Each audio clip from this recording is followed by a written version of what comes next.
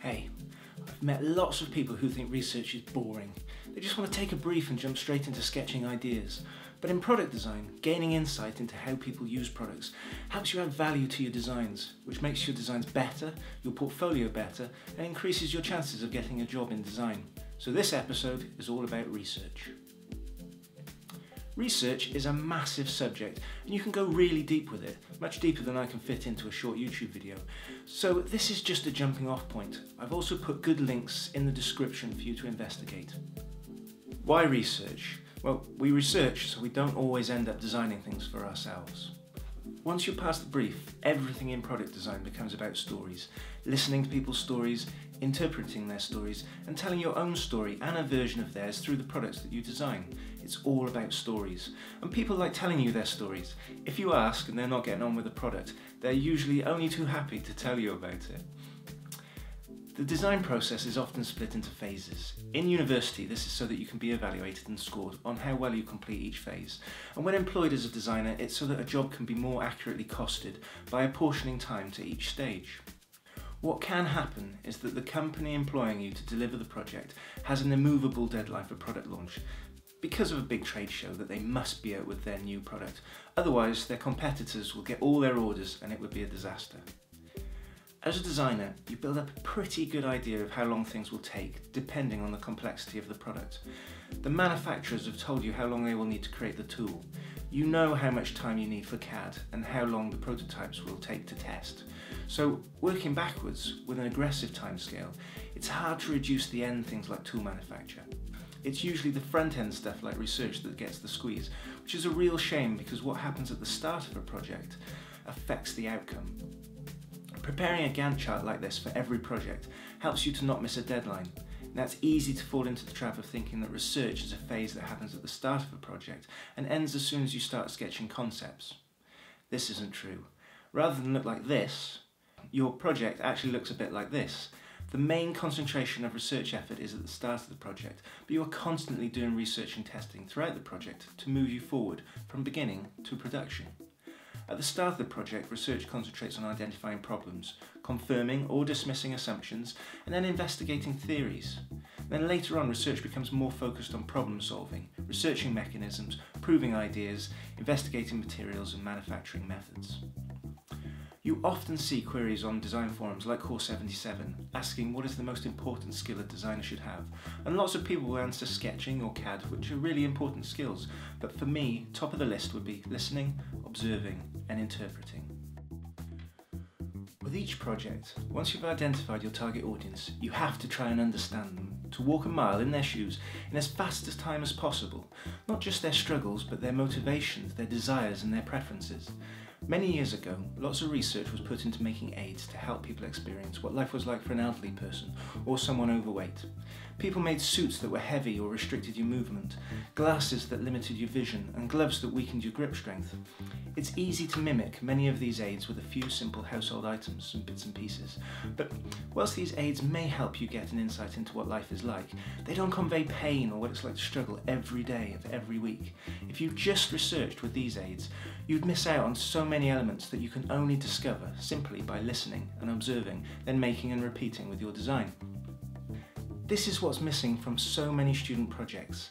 Get out with a camera and collect first source data to inform your design, but then go the extra mile. Put prototypes that you've made into people's hands and watch how they use them. Then make further improvements and repeat over and over. Really push it as far as you can in the time allowed. I'm as guilty of not doing this as everyone else, but I see lots of student work that I know wouldn't work well, if at all. Even if it is a beautiful CAD rendering, I can tell they haven't researched and made and tested a physical model. Designs tell stories, and their purpose is to become real products that people use.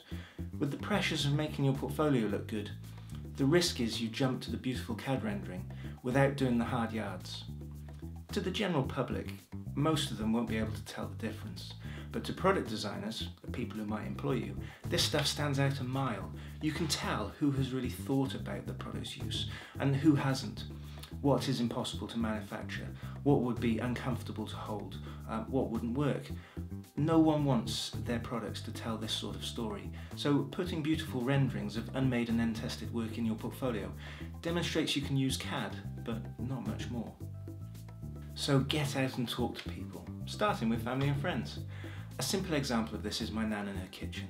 One statement that she couldn't stand for any length of time, so could no longer cook safely, totally changed the way I looked at kitchens and led me to a new kitchen design that adapts to its user and is designed to be safer. Recently, I was talking to her about her TV remote control. When I was 80, I broke my wrist. I fell in Meadowhall and broke my wrist, which I had in plaster for a while, but they didn't get the plaster on right at, good at the time, and so I got pins and needles in my fingers badly, and so they had to take the plaster off early. Consequently, I can't grip anything, so when I'm wanting to do anything like that, um, this hand really is of very little use. Well, you need two hands with the bat, the thing to go in that hand to hold it, and then if I'm shaking a bit, you need to pull the the Battery top, cover. the cap, battery cover off. The older we get, the more problems we encounter with a whole range of things. A TV can be someone's main entertainment, it's their window on the world. So, to not consider all its aspects of use means the designer unwittingly builds in barriers to its use. This is crazy. You can't just focus on one element or the main purpose of the design. Your approach and research to identify areas to improve has to be holistic. A TV remote that the user can't change the batteries on becomes a negative experience and a loss of independence as you then have to rely on someone else's help. In the past, I've been involved in focus groups to find out how people struggled with products. Running focus groups and keeping conversations focused on the product in the right way is a skill, and focus groups are a great way to identify problems and avenues to explore. But just remember, if you are sat around a table discussing a product without observing how it's used in its typical setting, you are missing out on half the story, where people store it and how they clean it. It's like taking a train ride and only looking out of one window. You're only going to see half the world.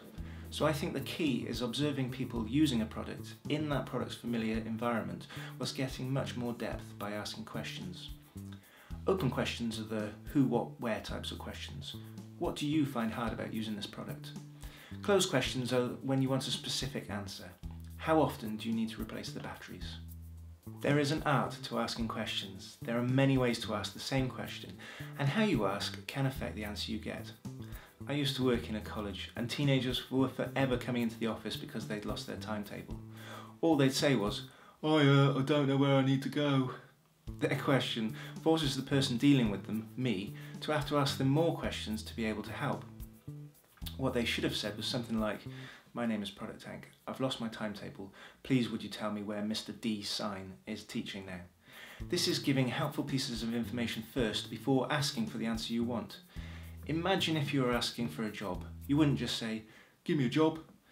You'd say, Hi, I'm a product design student. I'm good at sketching ideas. I don't mind helping around the office and I make a great cup of tea. Please could I intern with you? So in one sentence you have shown benefit, shown benefit and asked your question or give, give, ask.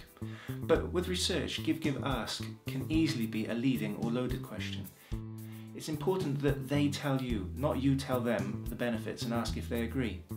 I've heard most people struggle to change the batteries in this device. Don't you agree? Is leading.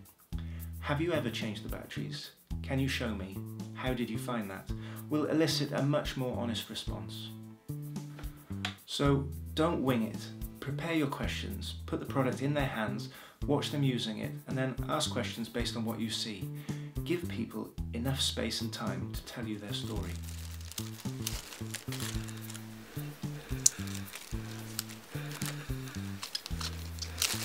Still pretty nimble fingered. Well, hands are not. My left hand's a nuisance because it won't hold anything.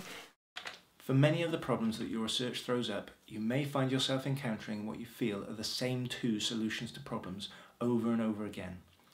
Option 1. A solution to the problem already exists, just the person doesn't know about it. For example, someone I know um, was struggling to use their tin opener and they didn't realise they could buy an electric hands-free one. Option 2. The solution is more service based. A family friend struggles to chop vegetables, but rather than design a clever mechanism that makes chopping vegetables easier, she can just buy packets of pre cut vegetables.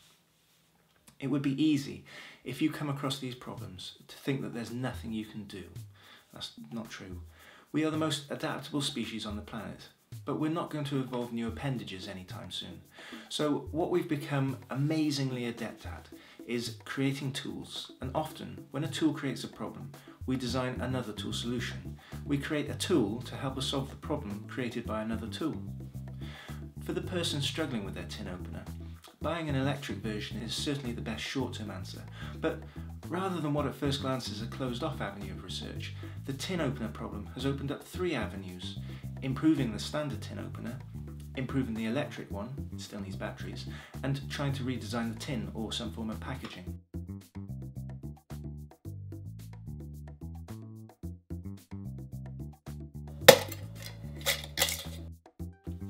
A few pointers. Make time to get out there and talk to people. It's one of the things all designers don't do enough. Don't design in isolation by just taking the brief and starting to sketch ideas. Use the insight people give you to add value to your designs. It will improve the design, which in university should get you higher marks and make your portfolio better, so increase the chances of you getting a job. Prepare, so that you can get the answers you need, not the answers you want or have assumed before your research. Know when and why you're asking open and closed questions and avoid leading or loaded questions. If you observe how a product is used outside of its typical setting, you are missing out on half the story. Nothing beats watching and questioning your target audience in person in a setting they are comfortable with and a setting where the product you are redesigning is commonly used. Be prepared to change your mind. As designers, never assume other people think like you. The older I get, the more I discover people don't think like me at all. Finally, don't waste your research. Sometimes I use my knowledge of the people I have researched to add a twist to a project they are not the target market for. As an example, this is Colin. Colin's an ex-rugby player who likes ordering things online. He doesn't like walking around the shops because of his hips and he will rarely answer the door. Say I'm designing a coffee table and I'm looking for inspiration. I'll use Colin or Maxine or Shirley or my nan and try and create one to their needs to see what new ideas this method could bring. So a mail order coffee table that can be posted through a letterbox to save Colin answering the door and constructed with no tools and limited dexterity with a leopard skin print option. It's an interesting design challenge. Or say I'm designing a vacuum cleaner. Now, as you know, my nan can't stand for any length of time and has bad balance, so can no longer do the vacuuming. Uh-oh, option one alert.